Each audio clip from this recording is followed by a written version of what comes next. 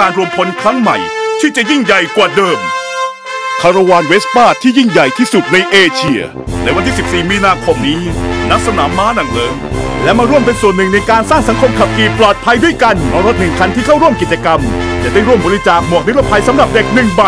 ภายในงาน68 Years of Vespa La Festa สมัครได้แล้ววันนี้ที่ www.vespa.co.th/68register